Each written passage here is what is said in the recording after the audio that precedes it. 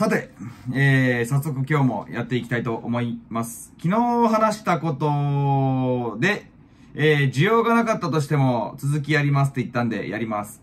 えー、そして、うんとね、うん、需要は多少あったかなという感覚ですね。いつもの再生数の2倍ぐらいかな。ランキングで言うと2位とかまでになってたから。いつもね、出るんですよ。こうやってランキングみたいな感じで、アナリティクス。初速みたいな感じとか、伸びとか、ね、そういうものが含めた上でね、YouTube って出るんですよ。うん。えー、なので話すってわけでもないですけど、別にそれがなかったとしても話そうとしてたから。はい。で、えっ、と、いろんな切り口で話す感じになっちゃうんですけど、おがあるから、そういう感じの話に,、えーになっちゃうんですけど、今回話すのは3つ用意しました。はい。えー、なんかすげえ、まあいいや。うん、話します。うんと、1個目。えー、自分の本格的なあ恋愛経験、16歳からだったんですけど、それからの今までを、うんと、相手がわからないようにお話します。はい。で、2つ目。えー、自分からアプローチができないというとこですね。はい。これを言います。えー、で、3つ目が、彼女がいない生活っていうのが、実は初めて、ちょっと繋がってるところあるかな。はい。えー、ちょっともっと厳密に言うとちょっと違う感じがあるんですけど、それを一つ一つお話しさせてもらいます。えー、はい。と、16歳からですね、うんとね、えっ、と、自分中学生の頃に、えー付き合ってたっていう風な、付き合ってるか付き合ってないかって言ったら、いろんななんかその、うん、微妙なところあるじゃないですか。付き合いましょうと言ったらもう付き合うって感じになってるけど、本当に俺は付き合ってるっていう風に思う思うのは、うん、ちゃんと価値観の交換ができて、えー一緒に、うん、よくデートしたりだとか、あその最後まで、えーそういう行為まで行ったりだとか、そういうものを全部含めた上で付き合ったっていう感じになると思うので、ただ付き合いましょう、付き合った、で、やっぱ、うん、やめとこうみたいな感じになった人がいるから、そういう人はなしという感じにしています。だから、えー16歳からが本格的だと自分は認識しています。付き合ったという定義。で、それで言うと、えー、うんとね、えー5人なんですよ。多分間違ってなければ。それを追って、えーとね、うん。16歳からの恋愛遍歴を自分でね、追って、えー見たらそんな感じだったんでね。で、えー全、全員と何年何年って言うと、2年、1年、10年、これがちょっと微妙なところなんだけど、あと半年と3年っていう感じなんですけど、大体ね。はい。えー、そんな、まあ、中で、俺、常に友達に言われていたことが、あー、俊太、彼女切れないよねって言われたんですよ。うん。なんか俺寂しがり屋だったみたいで、えー、もうずっと誰かしらと関わってたんですよ。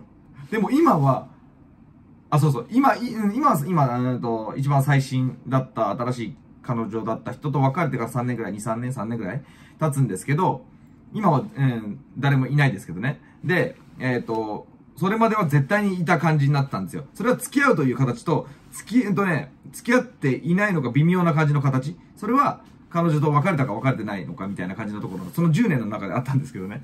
10年の人がね。はい。まあ、そんな感じですね。だからとにかく、えっと、16歳から自分始まってずっと切れていない感じがあったと。で、2年、1年、10年、半年、3年みたいな感じで付き合って来させてもらいましたと。えーそれを、まあ内容はちょっとあんまり、えー、うん、言うことはしないけど、うん。なんかいろいろ今から考えると、俺最低な男男だったんだなというふうに思うところが、ものすごくある。うん。ね。はい。で、二つ目いきます。で、えーと、自分からアプローチは基本しませんと。っていうか、できませんと。ね。えー、もうこれはね、恋愛に限らずですけど、いろんなものに対して、えー自分からなんかオファーしたりだとか、アプローチしたりだとか、交渉したりだとか、そういうような勇気がないのが根本にあるな。っていうのを感じてます。だから、えー基本的には言わないです。うん。言えないです。うん。恥ずかしいっていうか、その、振られたら恥ずかしいじゃんみたいな思考があるんですよ。で、い、いけないの。超ダサくないですか？まあそんな感じなんですよね。最近は、でも、えー、まあ恋愛のところではないですけど、自分からアプローチしたりだとか、ああね、オファーしに行ったりすることを結構している感じになってきてるんで、えー、自分からのこの勇気はね、うん、ついてきたかなっていうところがあるから、恋愛のところでも言うと、自分からいけるかなというふうな、あなんとなくの自信があるけど、えー、行くか行かないかはわからないっていうか、その、そもそもそっちに行きたいのかどうかっていうのは今、ね、ちょっと思い始めたけど微妙なところあるからね。という話です。はい。えー、で、彼女がいないのが初めて、えー、って言ったのは今、そっか、それも繋がっちゃってんな。ああ、16歳からずっとこうやって、うん、いたわけですけど、今が3年間ぐらいいなくて、で、それはなんでかって言ったら、今自分がやりたいことが詰まってて、えー、ね、キックボクシングあるし、えー、まあ仕事、自分が伸ばしたい仕事あるし、あと経営の方でちゃんとしっかりやりたいっていうのもあるし、っていうのがあるから、うーん、そうね、なんか恋愛に、に割いてる時間はないというふうに思ってたからだったんだけど、なんか、えー、そっちに恋愛に少し振ったとして、例えば10ある人生の中の時間のうち1とか2ぐらい、じゃあ2まで増やしたけど今ね、えっ、と、人生にそっちに振ったとしたら、えー、その分無駄になると思っていたところが、でもなんか、えー、それによって、そこの8の部分、9の部分が、えー、相乗効果でなんか増えるような感覚になるのかなというようなイメージが、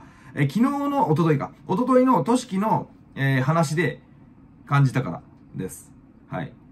うん。だから、その恋愛とかそういうのは、全、全然無駄じゃんって思ってたけど、無駄じゃないのかもしれないって思い始めたんです。はい。そんな感じですね。えー、3つお話しました。簡単ですけど。あんまり長く、もういくらでも多分これね、話せちゃうな。いや、いくらでも話せないか。いくらでも話せないな。そもそも経験少ないし。うん。で、どうだろう？これ経験少ないんですかね？えっ、ー、と、今38歳です。で、16からだから、あもう22年間で5人の方とお付き合いした感じうん。あ、そこで、あ、そうだな。うん。どうなんでしょうかね。自分は少ないっていう風な感覚がなんとなくあるんですけど。はい。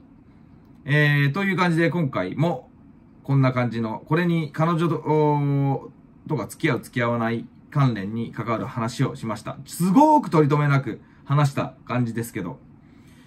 いや、これダメだな、なんか。かっこつけてるみたいな感じになるのかななんだろ、これ。話してると、なんでお前そんなこと話してんだよって言われそうな気がしてきちゃってならない。まあいいや。えー、はい。これをそのままあげます。さよなら。